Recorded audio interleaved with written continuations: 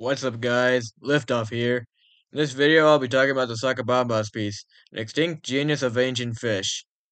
You might be wondering what the actual sigma of the Sacabambaspis. Well, I have the answer you're looking for. Sacabambaspis was a genus of armored jawless fish which lived in the Ordovician period and inhabited shallow waters on the continental parts of the supercontinent Gondwana. The Sacabambaspis vaguely resembles a slender tadpole, with a large plated head, flat body, and no visible fins outside of its narrow tail. The eyes are closely spaced and are positioned at the very front of its head. It was about 13 to 14 inches, or 35 centimeters, long, including its thin tail.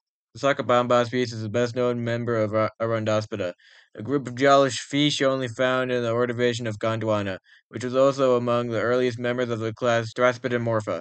Although the Sacabambaspis is jawless, its mouth is lined with nearly 60 rows of small, bony oral plates which are probably movable in order to provide more efficient su suction feeding through the expansion and contraction of the oral cavity and pharynx. Its diet likely consisted of algae, plankton, and small pieces of carcasses.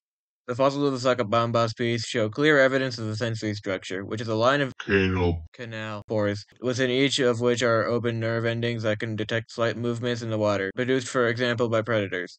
The arrangement of these organs in regular lines allows the fish to detect the direction of the distance from which a disturbance in the water is coming. There are some details I didn't cover, like its internet attention and most of its visual description, but that's because I'm lazy. But that's all for this video. Enjoyed it, smash that like button, subscribe if you want to, and have a good day. Goodbye!